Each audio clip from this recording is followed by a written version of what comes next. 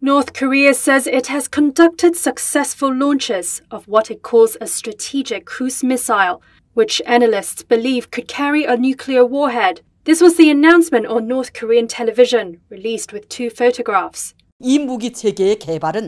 According to the American think tank, the Carnegie Endowment for International Peace, this is the first time North Korea has called a cruise missile a strategic weapon which is a common euphemism for nuclear weapons.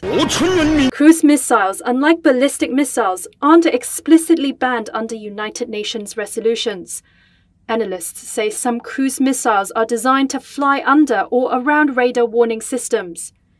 It also comes as the US, South Korea, and Japan were meeting in Tokyo over how to break their standoff with North Korea and resume negotiations.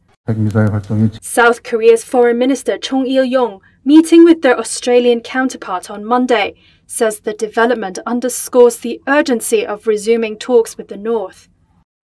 The US says it also wants to resume talks, but has not given willingness to ease sanctions.